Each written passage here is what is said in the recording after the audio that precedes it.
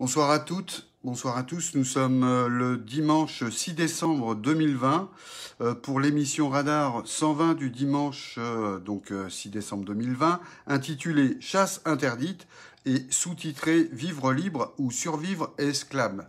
Esclave. Donc nous avons Roger Nimo en direct du confinement depuis chez lui.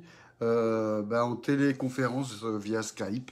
Donc vas-y, Roger, tu peux y aller. Je te, remercie, Marc. Euh, donc, euh, euh, comme l'a dit Marc, notre émission de ce 6 décembre 2020 est intitulée Chasse interdite. Alors, il y avait un slogan en 1968 qui disait Il est interdit d'interdire. Donc, c'est un petit peu pour ça que j'ai choisi ce, titre, Chasse interdite. Mais on va essayer d'aller plus loin et de comprendre déjà qu'est-ce qu'était la chasse et pourquoi est-ce que aujourd'hui, dans le contexte de ce qu'on appelle les hommes modernes et, nos sociétés euh, capitalistes de consommation et de gaspillage, eh bien, euh, cette chasse, justement, doit être immédiatement stoppée. Voilà. Donc, je vais parler pour ça d'une découverte qui a été faite assez récemment, en 1990. Donc, on voit, ça fait moins de 30 ans. Il y a une grotte qui est proche du village occitan de Bruniquel et euh, elle était occupée par des hominidés il y a 176 500 ans. Vous entendez bien? 176 500 ans. À cette époque reculée, les hominidés de type Homo sapiens, dont nous faisons euh, génétiquement euh, partie, étaient encore isolés sur le continent africain. Souvenons-nous, souvenons-nous, enfin, pour ceux qui sont suffisamment âgés, il y a environ 5,7 millions d'années, à la fin du Miocène, les premiers hominidés à posséder des pieds n'ont laissé de traces de bipédie ancienne qu'en Europe, en l'occurrence en Crète. Ces groupes d'hominidés qui marchent debout, ceux qui marchent debout, pour ceux qui ont lu euh, euh ceux qui marchent debout ont, durant une période de plusieurs millions d'années, occupé tous les territoires accessibles. Et ils se sont diversifiés par adaptation à des environnements biogéologiques différents. La séparation entre l'Afrique et l'Amérique du Sud, eh bien, elle a eu lieu au Crétacé il y a 80 millions d'années, c'est-à-dire bien avant que les hominidés ne se séparent des autres grands singes, il y a environ 7 millions d'années. Voilà pourquoi on ne trouve pas d'ancêtres des hominidés sur le continent américain. Les hominidés qui ont aménagé la structure architecturale de la grotte de Bruniquel il y a 176 500 ans, à l'aide de stalagmites prélevés sur place, ne sont donc pas des Homo sapiens. Dans l'état actuel de nos connaissances, ces hominidés ne peuvent être que des néandertaliens. Alors, comment débiter, transporter et assembler une tonne de stalagmites dans les profondeurs ténébreuses d'une grotte sans source artificielle de lumière, sans un plan déterminé, sans une organisation sociale, sans un but commun. Alors, les foyers qui ont été retrouvés sur place étaient constitués d'assemblages de stalagmites et d'os. Voilà, arrive à la chasse, parce qu'il y, a des os à l'intérieur de ces foyers qui ont été retrouvés. Ce qui a permis des datations précises, notamment à l'aide de la technique de mesure de désintégration des atomes d'uranium en atomes de, thorium, mesure effectuée sur la calcite prélevée sur les extrémités des stalagmites constituant la structure.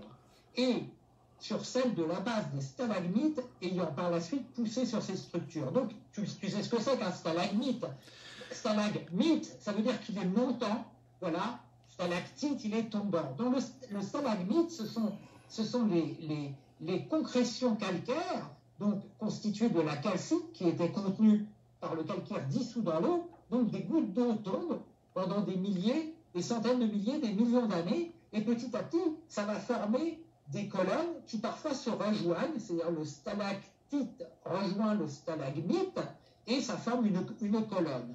Alors, la croissance d'un stalactite peut être calculée euh, par rapport à sa taille à condition que le débit de l'eau soit resté le même.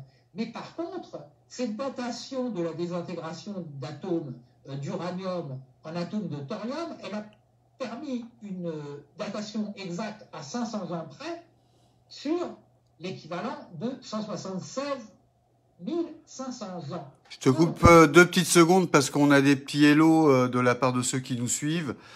On a Pigna euh, dit Horacio, Titou Grim, Alain Grache, Sibylle Léoluse, Muriel Capdevielle et Jean-Marie Navarro qui nous ont rejoints en direct avec les moyens du bord pour nous suivre. Voilà, c'était un petit aparté. Alors, il faut bien voir que jusqu'à présent, toutes les grandes ornées euh, qui, avaient été explorées, elles étaient soit occupées par des Homo sapiens, soit par des, Néandertaliens, et elles se situaient pour les plus anciennes aux alentours de moins 30 000, moins 40 000 ans. Donc là, on fait un saut de, plus de 130 000 ans en arrière, et qu'est-ce qu'on découvre? Eh bien, on découvre des, des foyers qui ont servi de source de lumière pour effectuer ce mystérieux et ancien chantier. Alors ce ne sont pas des foyers liés à une nécessité alimentaire. Les Néandertaliens, les Néandertaliens n'effectuaient pas de stupides et dangereux pique-niques souterrains il y a 176 500 ans. Non, la combustion lente de la masse osseuse délivre une lumière stable sans produire trop de fumée ni de suie qui pourrait être nocive aux activités anthropiques dans un environnement clos.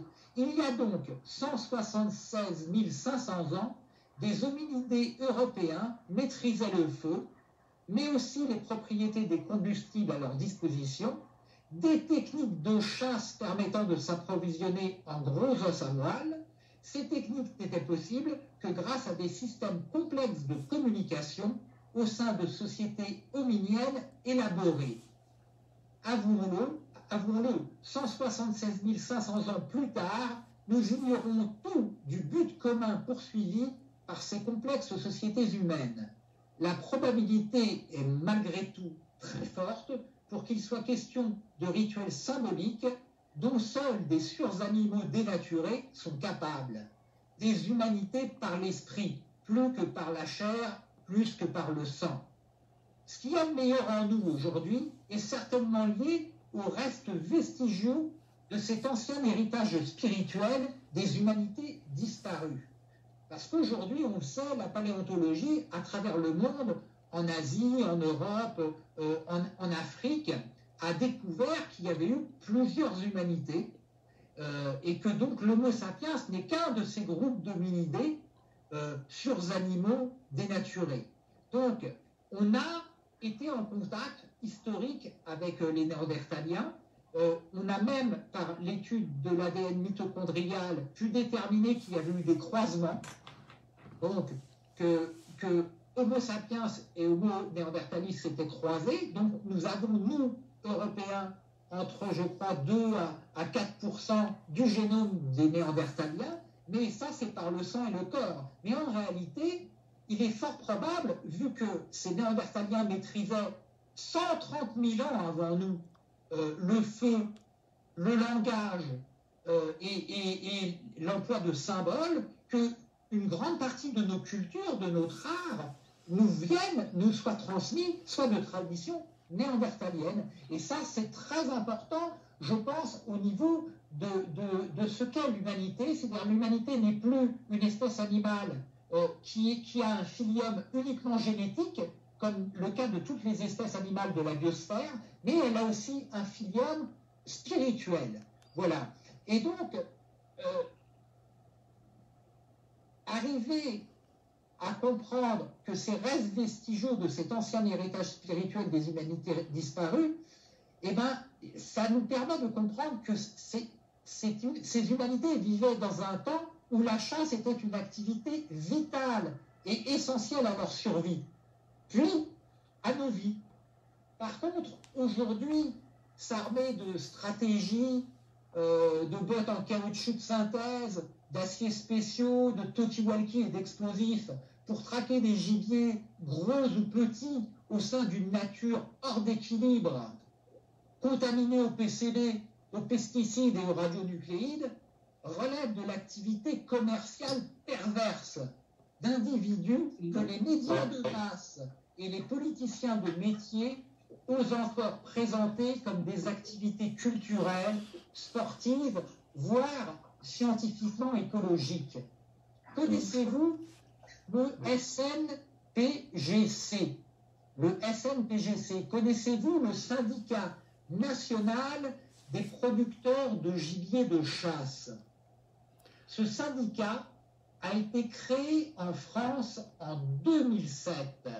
Ce syndicat corporatiste regroupe des entreprises capitalistes qui tirent des dividendes de la privatisation imposée de l'espace public naturel avec les complicités actives des institutions publiques et privées républicaines grâce à 11 partenariats avec les fabricants d'armes de chasse et de munitions, la SNA-FAN, les armuriers, la CSNA, les accouveurs de gibier, SNA, donc les accouveurs, c'est des éleveurs de volailles, hein. les éleveurs de gibier, ceux qui élèvent aussi des sangliers pour la chasse, les fabricants d'aliments gibier privés et corporatifs, SNIA, les chasseurs professionnels, les chasses professionnelles, FNCP, les distributeurs de viande de gibier, FNES, COPA. Roger, j'ai une question. Oui, la Société Centrale Canine, SCC, et la Fédération Nationale des Chasseurs, FNC. Voilà, c'est ce que regroupe ce syndicat corporatiste. Oui, tu, quelle était ta question Oui, donc ma, euh, ma, question, les Homo sapiens, euh, enfin, tu nous as parlé des Homo sapiens, euh, donc ça fait référence à notre, à notre espèce jusqu'à 200 000 ans, si je me trompe pas. Tu as parlé du Néandertal et moi j'avais entendu parler de l'homme de Cro-Magnon. Dans l'historique que tu as fait, tu, tu le situes où l'homme de Cro-Magnon dans tout ça? L'homme de Cro-Magnon? Oui il me semble que l'homme de, de Cro-Magnon, est-ce que ce n'est pas un néandertalien? Je ne sais pas, de ce que j'avais compris, ils se seraient croisés tous les deux à un moment donné de, de leur vie, mais euh, ce serait a priori deux espèces différentes euh, dont fait partie aujourd'hui euh, l'Homo sapiens. Moi, je vais te dire, je ne suis pas spécialiste, mais je, je, crois que le Cro-Magnon, ce sont des races d'Homo sapiens. Mais par contre, euh, le, le est arrivé en Europe, vu que c'est un Homo sapiens, très longtemps après les, les, autochtones qui étaient, eux, des néandertaliens. Et quand je t'ai dit que la, la, grotte dont, dont, je parle, euh, qui, qui, est la, la, grotte occitane de Bruniquel, eh bien, elle, elle, elle, est, elle est datée de 176 500 ans. Et donc, c'est plus de 130 000 ans avant qu'on retrouve des grottes qui, elles, vont être effectivement ornées et aménagées par des Homo sapiens. Donc, on voit bien que le néandertalien est très largement euh, précurseur euh, de l'Homo sapiens dans des activités anthropiques, et notamment la chasse, parce que chasser des gros gibiers, c'est pour obtenir des gros os à comme on a retrouvé ceux qui ont permis justement d'éclairer la grotte pour pouvoir y effectuer ces travaux, où ils ont déplacé l'équivalent d'une tonne euh, de stalagmites qu'ils avaient auparavant débité. Donc c'était un groupe d'hommes de moins une dizaine ou une vingtaine. Euh, donc ça veut dire qu'ils avaient du temps libre, qu'ils étaient bien nourris, qu'ils connaissaient des techniques pour pouvoir éclairer sans s'asphyxier à l'intérieur de la grotte. Et donc, ça, nécessite euh, des capacités cognitives et d'organisation qu'on ne pensait pas possible euh, chez d'autres types d'hominidés que l'Homo sapiens et avant une période qui est à peu près de, 40 000 à, 30, à 30 000 ans avant nous. Voilà, c'est pour ça que c'est important. Et donc, c'est lié aux activités synégétiques de l'époque, ce qui prouve que l'homme pratique euh, la chasse et maîtrise le feu depuis très longtemps. Et donc, quand j'ai parlé de, ce, de ce syndicat extrêmement... Oui, tu, me fais des gestes, Marc? Non, c'est pour le cadre, c'est pour euh, juste que, recadrer, si tu pouvais regarder. Ouais, voilà, impec. Ah, d'accord, ah oui, c'est que je me, je, me tiens, je me tiens pas droit, oui, c'est vrai que je ne regarde pas mon image. Voilà, donc quand je te parle de ce syndicat qui a été créé en, en, 2007, euh, ce syndicat corporatiste, eh bien, euh, syndicat national des producteurs de gibier de chasse, qu'est-ce que ça signifie? Eh bien, ça, signifie, si tu vas sur leur site internet, dont je donnerai le lien, mhm. eh bien, ils désignent, ils désignent eux-mêmes nommément leurs ennemis. Alors, qui sont-ils? Alors, ce sont les dangereux bénévoles de la LPO, la Ligue protectrice des oiseaux. Tu te rends compte? C'est terrible. Ce sont les violents militants du RAC, le Rassemblement pour une France sans chasse. Et en règle générale, tout ce qui est estampillé label vert alors alias euh, écologistes, euh, zadistes, voire promeneurs qui n'ont que ça à foutre et qui ne rapportent rien que des ennuis. La chasse en France, en France, c'est un chiffre d'affaires annuel de 3,6 milliards d'euros. C'est du business tout ça. 25 800 emplois salariés équivalents temps plein. Voilà, tu sais, pour les gens qui sont euh, euh, adorateurs de la sainte croissance et du PIB, voilà, des emplois équivalents temps plein sur le meurtre d'animaux qui sont élevés et vendus aux sociétés de chasse. Parce que petits et gros gibier, il y en a tous suffisamment. Alors faites place au dieu argent sous peine de mort accidentelle garantie. Malheureusement, cette émission de ce soir, là, cette émission radar numéro 120 intitulé Chasse interdite du 6 décembre 2020, eh bien, il y a un lotois de 25 ans, Morgan, qui n'aura pas la possibilité de l'écouter. Il a été abattu devant son domicile par la balle d'un chasseur le mercredi 12 décembre 2020 à Calvignac. Alors, j'ai quelques petites questions au sujet de ce nouveau drame cinégétique. Premièrement, quel animal qui coupe du bois dans sa propriété peut être confondu avec un sanglier? Deuxièmement, ne doit-on pas réglementairement faire dos aux habitations, quelle que soit leur distance, lorsque le fusil de chasse est braqué pour tuer? Troisièmement, comment peut-on en France, en 2020, dans un média, qualifier ce type d'assassinat d'événements accidentels sans qu'il s'agisse de protéger une filière économique mortifère du respect strict des lois républicaines censées s'appliquer à toutes et tous. Quatrièmement, pourquoi un individu non élu, le préfet, fixe localement, de manière régalienne, les règles de ces dangereuses pratiques sanguinaires? Cinquièmement, pourquoi des individus qui se déplacent armés dans l'espace public de la chose publique bénéficient-ils de manière anticonstitutionnelle de dérogations en matière de confinement sanitaire alors qu'ils représentent un danger de mort pour tous les êtres vivants? Sixièmement, faudra-t-il attendre 2022 pour espérer l'ouverture légale de la chasse aux régénimaux voilà, voilà mes six questions. Donc, dans le cadre de la dramatique affaire d'une jeune femme enceinte retrouvée dévorée en forêt, on est passé en une année d'un décès lié à l'action d'un ou plus probablement de plusieurs chiens au regard de la répartition des plaies, de leur différence de morphologie et de leur profondeur, à début novembre 2020, Selon le parquet de Soissons, il est aujourd'hui certain que seul Curtis, le chien du compagnon de la victime, est impliqué dans sa mort. Qui a filé un fusil à Curtis? La presse a soutenu que la pandémie de Covid-19 avait retardé les analyses génétiques.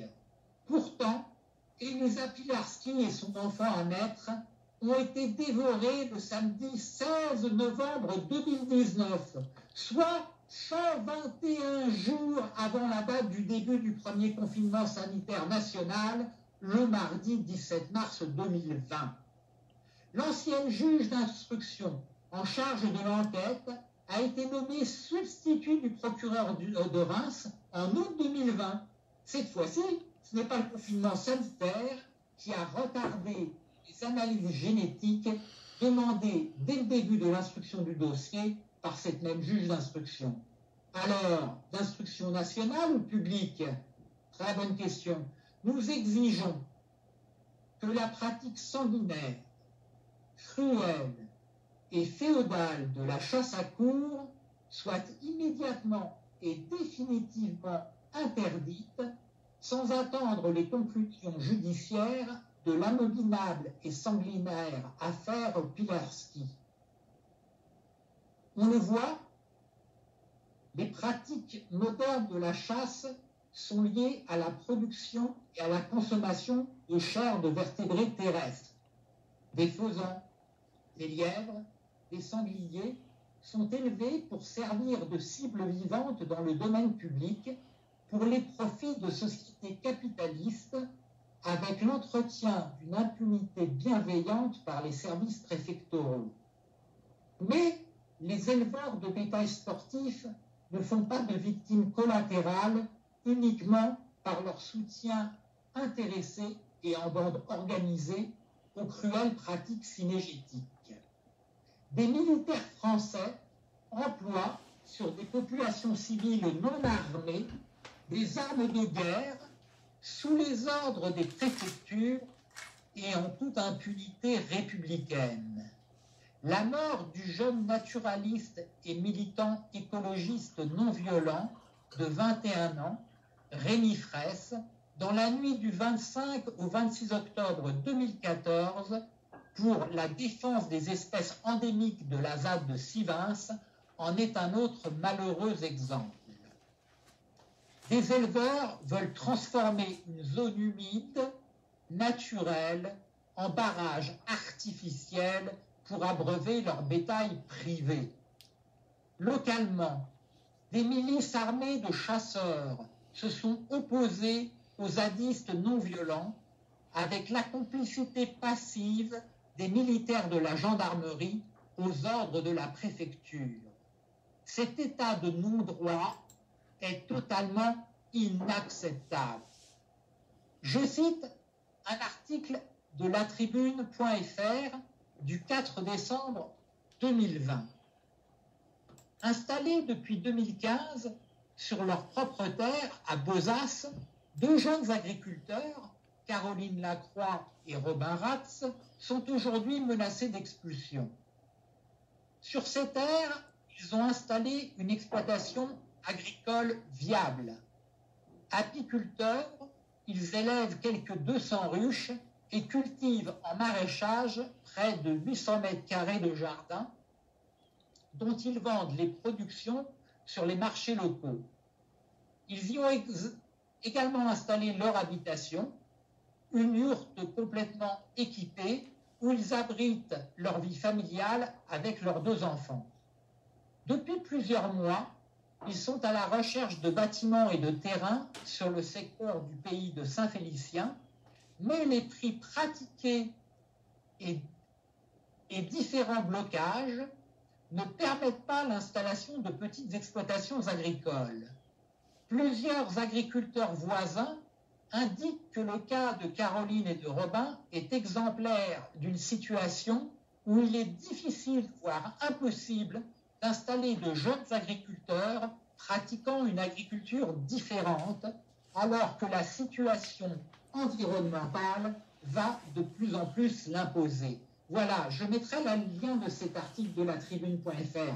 Alors, lorsqu'un jeune couple avec deux enfants tente d'échapper au cadre entrepreneurial et prédateur fixé par la FNSEA, par le Crédit Agricole et par toutes les entreprises transnationales du secteur de l'agroalimentaire, c'est-à-dire à, l'exploitation financière des espaces naturels, alors il en va de la survie des oligarchies pilleuses et gaspilleuses, de la survie des privilèges électoraux républicains.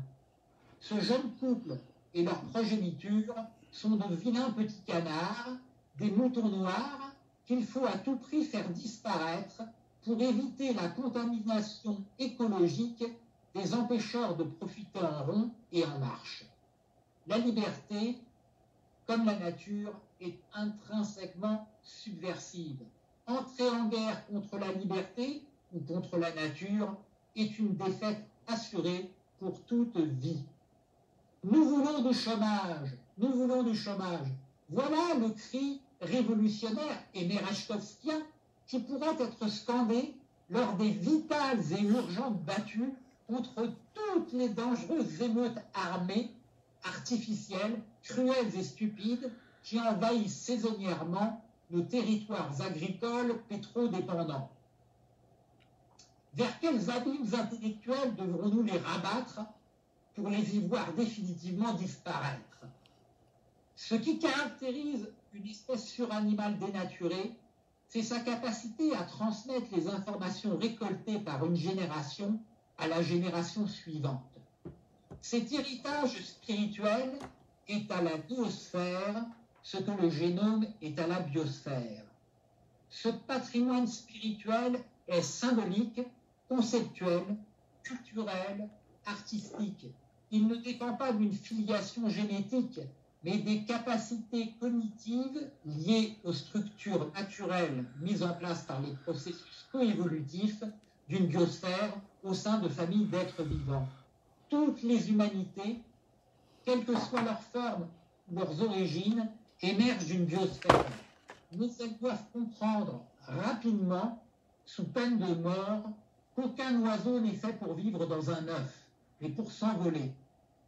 Quel lieu naturel pourrait mieux évoquer l'espace minéral clos d'un œuf Une grotte. De quelle coquille est encore prisonnière cette humanité terrestre dernière qui se prétend sage? Bah oui, elle s'appelle elle-même Homo sapiens. Quel est le message vital adressé par la noosphère à tous les êtres sur animaux dénaturés? Eh bien, on pourrait peut-être extrapoler la chose et se demander pourquoi la chair sacrifiée est-elle transsubstantiée en pain Pourquoi le sang versé est-il transsubstantié en vin?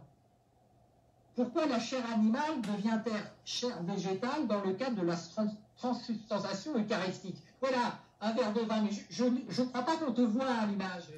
Il faudrait que tu tournes la caméra vers toi parce que moi je te vois, mais nos auditeurs ne te voient pas. Je peux pas trop euh, par rapport au, focus de la caméra. J'ai juste un cadre. Je, précise que Marc euh, a levé son verre de vin quand j'ai parlé de la transsubstantiation eucharistique. Alors, pourquoi doit-on encore et toujours se prendre des pains en vin Alors, pour tous ceux qui ne me voient pas, Roger est là. je disais, pour tous ceux qui ne me, me voient pas, Roger est là. Ah oui, euh, monopolise, c'est moi, moi, qui tiens la, la, grappe de ces futures vendanges. Donc je disais, pourquoi doit-on encore et toujours se prendre des pains en vin et surtout sans le vin Voilà, parce qu'il il faut justement rire de ces choses-là, parce qu'il s'agit quand même de mort d'homme. Donc, euh, euh, comme, comme, je dis souvent, on peut rire de tout, mais pas avec n'importe qui. Et je pense que quand on rit de la violence avec des non-violences, c'est extrêmement sain. Voilà. Et donc, se prendre des pains en vin, effectivement, c'est la nouvelle Eucharistie, c'est la nouvelle bonne nouvelle, c'est-à-dire que le, les, nos, bergers, euh, nos violents bergers, bouffeurs de bidoches, euh, trois, fois par jour si possible, parce qu'au petit déjeuner, euh, la saucisse dans la ricorée, ça peut être une bonne chose, eh bien, ceux-là, ils, nous mettent des pains. Ils n'arrêtent pas de nous mettre des pains, ils, n'arrêtent pas d'essayer de, nous de nous faire crever, parce que, parce que eux, le monde, il, démarre par eux. Voilà. Et il terminera avec eux. Et donc, ils n'en ont rien à foutre euh, que l'on vive ou que l'on meure, que le monde soit pollué. L'important, c'est de se gaver pendant qu'il est temps. Voilà. Alors, la chasse, comme le sacrifice, appartient au passé. Aujourd'hui, la dernière humanité terrestre, c'est nous, les Homo sapiens, et eh ben on a les moyens de vivre et non pas de survivre. De même, l'impasse mortelle de la haine, de la rancune, de la vengeance, ou de la punition a pour unique issue viable le pardon.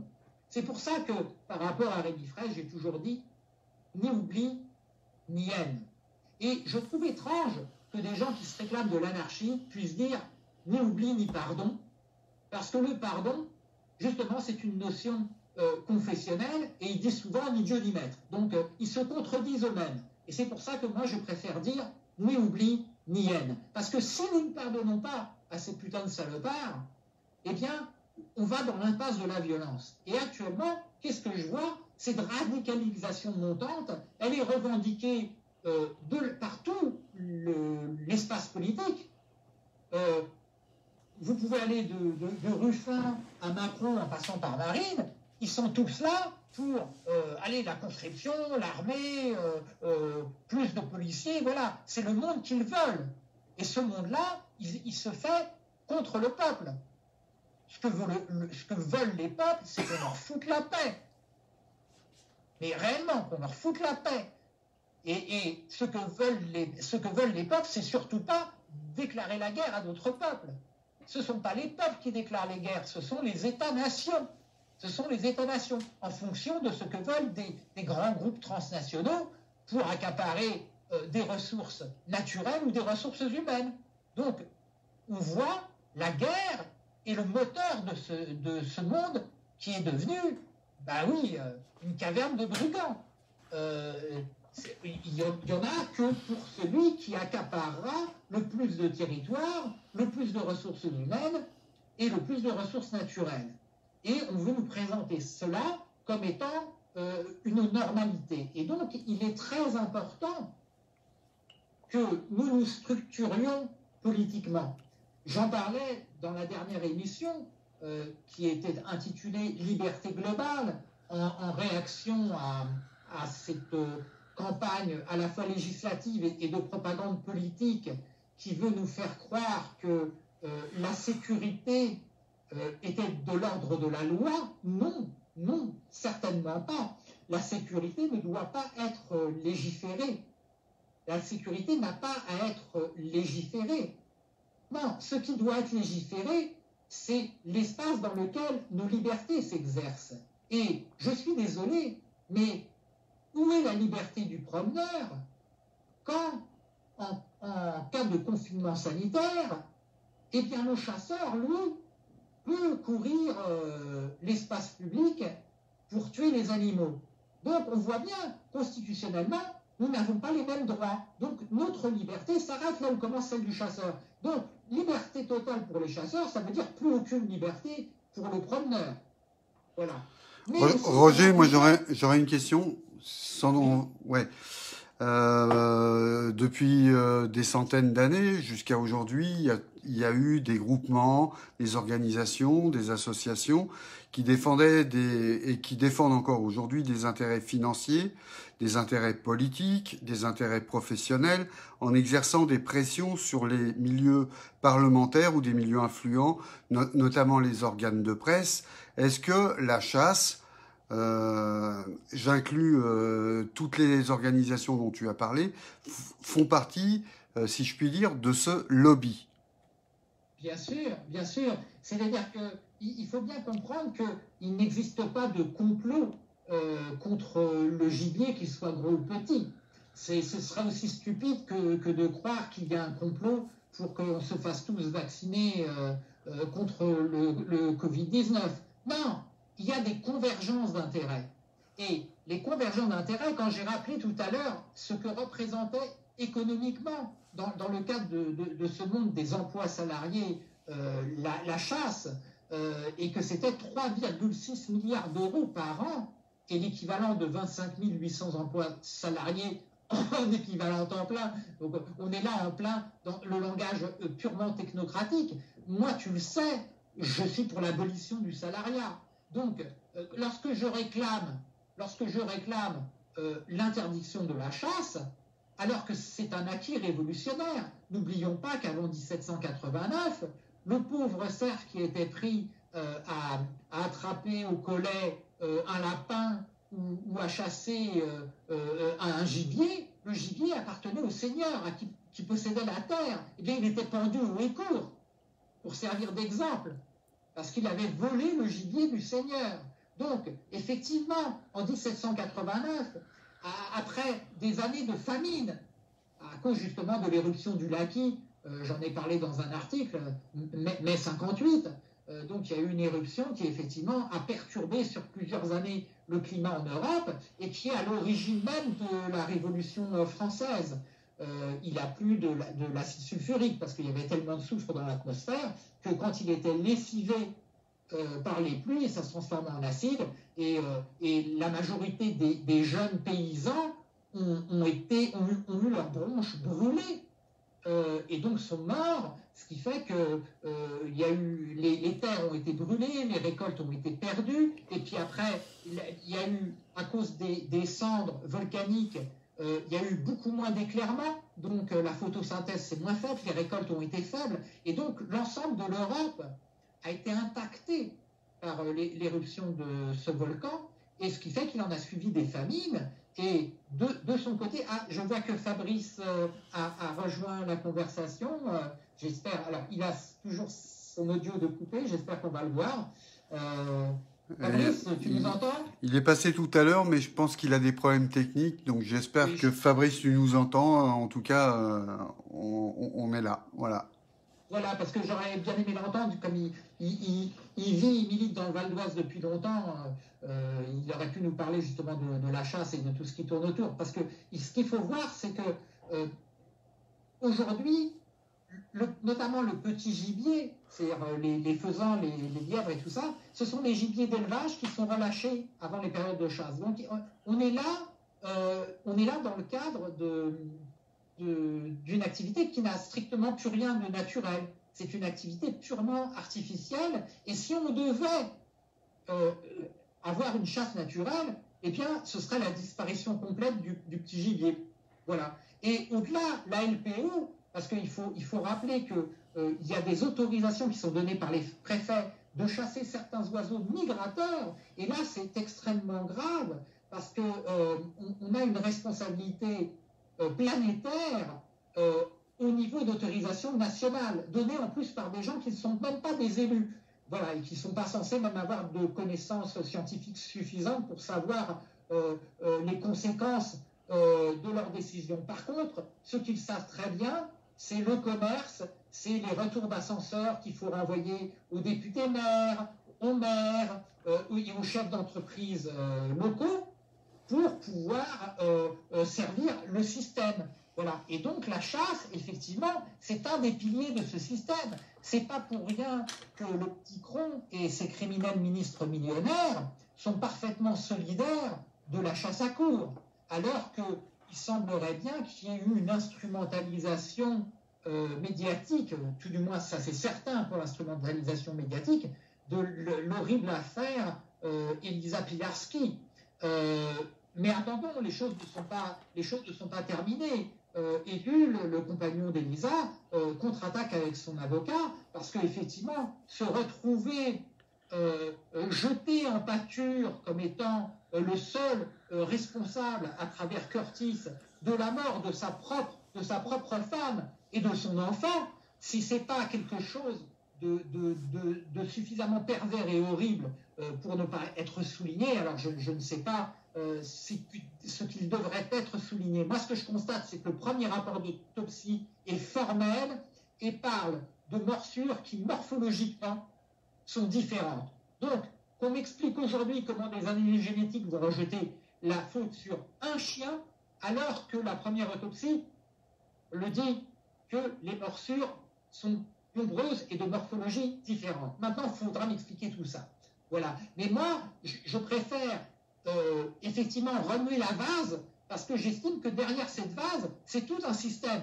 La chasse, la chasse qui anciennement était une activité vitale, qui était une revendication révolutionnaire en 1789, aujourd'hui c'est une activité anthropique à combattre de manière vitale. Il est vital de combattre la chasse. Voilà. Et effectivement, si on veut réintroduire des loups, des ours, euh, si on veut même que certains de nos animaux euh, domestiques, qu'ils soient euh, bovidés ou, covidés retrouvent un habitat naturel et, peut-être même une éthologie naturelle, parce que n'oublions pas quand même que ces pauvres animaux d'élevage ont été domestiqués à partir de, races sauvages, et bien si on veut retourner à, un monde naturel et à une nature préservée, eh bien, il va falloir prendre des mesures qui sont complètement antinomiques avec ce qu'est la chasse aujourd'hui.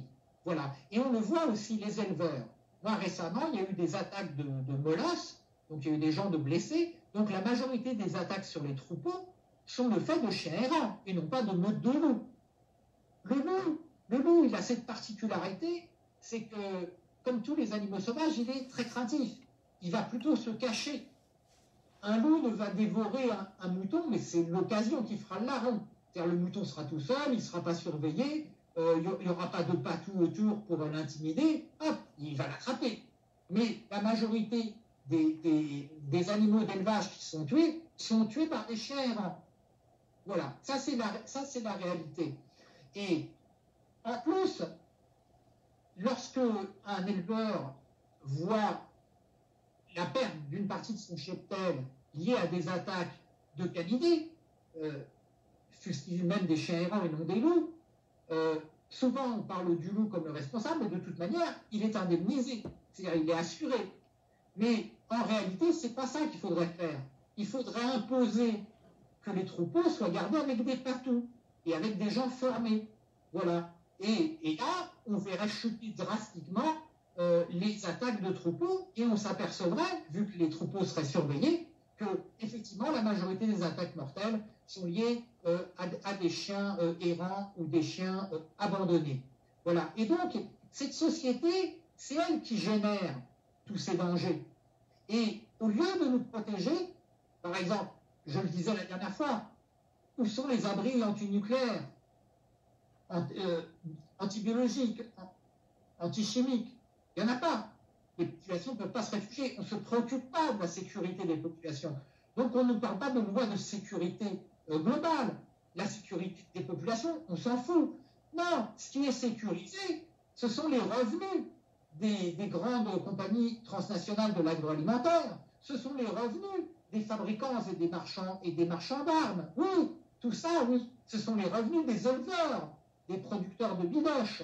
Euh, voilà, ça, ça par contre, c'est ce que le système va sécuriser. Et donc, pour sécuriser tout ça, eh bien, on arrive au monde aberrant dans, lequel, euh, malheureusement, euh, nous vivons aujourd'hui. Euh, là, j'ai un petit message de, Fabrice, parce qu'il a, il a dû essayer de rejoindre la conversation. Donc, bah, vous voyez, c'est du, direct.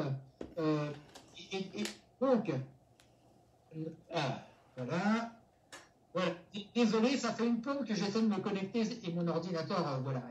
Voilà, donc euh, il, a des, problèmes techniques. On va essayer de résoudre ça euh, ben, avant notre prochaine émission, justement, parce que je, vais bientôt arriver à la conclusion, même s'il est que 21h15, parce que nos émissions sont calibrées 20h30, 21h30, mais en fin de compte, voilà, on n'est pas des, têtes carrées qui vont rentrer dans des, dans des trous ronds, ni des têtes rondes qui doivent rentrer dans des, dans, dans des trous carrés, on s'en fout un petit peu des heures, l'important c'est ce qui est dit.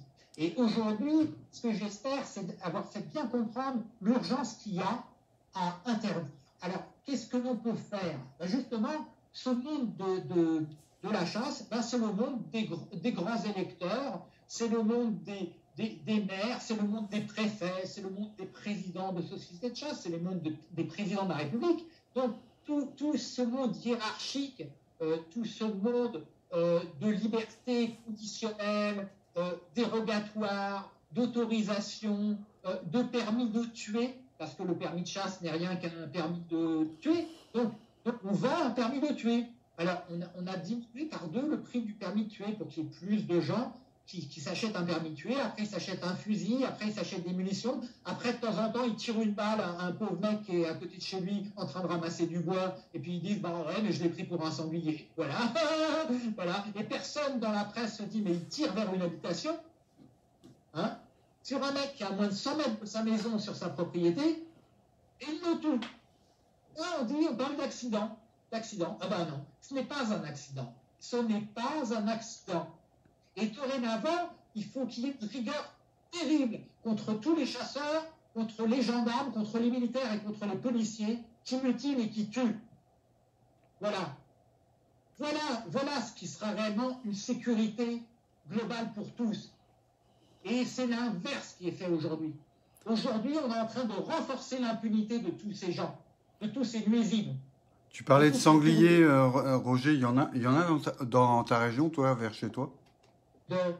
Des sangliers Des sangliers euh, Par chez moi, dans, le 9-3, non, je, dirais les, les, les, hordes les plus dangereuses, ce sont des hordes de poulets.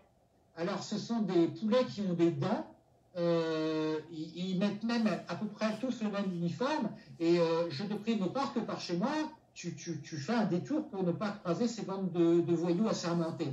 Alors, dans, le cadre des fêtes de fin d'année 2020, alors telles que pratiquées en Occident, hein, depuis que le pape Libère, c'est le pape Libère hein, qui a décidé de ça en l'an 354, voilà, pour se caler sur la date populaire de la fête romaine Sol Invictus, ah, le soleil invaincu afin de célébrer la naissance d'un charpentier juif palestinien nommé Jésus. Alors, né au début du premier siècle de l'ère chrétienne, le 25 décembre 0, tel que défini par le calendrier promulgué par le pape Grégoire XIII à la fin du XVIe siècle, et afin de correspondre approximativement avec le jour le plus court de l'année, alors cette année le 21 décembre 2020, c'est-à-dire le jour du solstice d'hiver qui correspond au jour à partir duquel l'ensoleillement journalier va aller croissant. Voilà. Donc c'est pas le croissant de lune, c'est le croissant de soleil, c'est ce soleil invaincu, sol invictus. Voilà. Et donc, donc disais-je, dans le cadre des fêtes de fin d'année 2020, nos émissions radar vont faire plaisir aux criminels bâtards qui prétendent nous gouverner et contrôler nos sociétés, en respectant la trêve des confiseurs déconfinés provisoirement. Donc, la dernière de nos émissions radar 2020, eh bien, elle aura lieu le dimanche 13 décembre 2020, c'est-à-dire dimanche prochain, et nos émissions radar, elles, elles reprendront leur cours hebdomadaire le dimanche 10 janvier 2021. Et je veux dire à toutes et à tous, joyeuses fêtes de fin d'année 2020 et surtout, Joyeuse assignation à résidence sanitaire 2021. Voilà, si tu veux euh, donner tes vœux avant l'émission de dimanche prochain, Marc, c'est le moment, et tu peux retourner même ton engin, finir sur toi. Voilà. Euh, moi, moi, j'ai pas grand-chose à dire. Euh, je sais qu'on attend le 15 décembre pour savoir euh, comment vont se confiner justement nos libertés, et pour le moment, je n'ai pas, la, je n'ai pas la réponse. En tout cas, merci pour pour ton pour notre émission et euh, ben, euh, ta documentation, enfin tout ce que tu as fait. Et je te remercie encore, Roger. Euh, bravo à toi. Et à ceux qui nous suivent, ben, pourvu que ça dure, voilà. On est là, on sera toujours présent. On, a décidé, ça va faire à peu près trois ans de contrecarrer, enfin, pas contrecarrer, mais d'alimenter autrement euh, euh, l'information par des recherches euh, qu'on fait de nous-mêmes. Roger se documente et à chaque fois fournit ses sources. donc c'est pas de la parole en l'air. Et puis j'espère que ça vous plaît. En tout cas, notre, on n'a pas d'objectif concret. Nous, ce qu'on veut, c'est discuter de tout ce qui nous arrive un petit peu autrement. Voilà ce que j'avais à dire. Alors, pour toutes et tous, n'oubliez pas, sur, notre page Facebook, donc vous pouvez retrouver l'équivalent de plus de 120 heures de, vidéos de nos émissions, mais aussi euh, des films qu'on tourne euh, avec Marc, euh, Pierre Merechkowski et, moi, et aussi des choses que Marc tourne, voilà. Et vous pouvez aussi retrouver toutes nos émissions et plus sur notre page Radar YouTube qui a failli être fermée le 20 décembre dernier parce que j'ai voulu euh, euh, diffuser ma chronique orange, une vidéo qui reprenait des images de ce qui n'existe pas, c'est-à-dire les violences policières. Voilà. Et donc, je vous dis à dimanche prochain. Bonsoir à toutes, bonsoir à tous. Bonsoir à toutes.